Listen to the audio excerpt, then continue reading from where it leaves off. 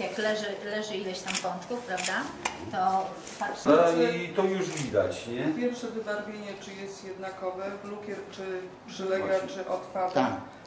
Jeżeli oponka ma y, bąble, czy pączek ma bąble, to znaczy, że fermentacja nie przeszła całkowicie. Z kolei jeżeli będzie miał takie fałdy, tak jak tu, to znaczy, że jest przerośnięty. Bardzo dobry pączek powinien wrócić. To nie powinno być takie jak zakalec, czyli y, naciśniemy i zostanie. Tak Te takie tego, naj, że- najlepsze pączki powinny wrócić, czyli jeżeli damy naturalne surowce, dużo jaj, dużo żółtek, tłuszcz odpowiedniej jakości, to wpływa nam na później na strukturę, na jakość pączka. Już tak od 8 lat to było, że usiłowałam nauczyć jak się robi jakiś i że biorą mąkę, bo dla nich ten komponent to była mąka i dodają wody.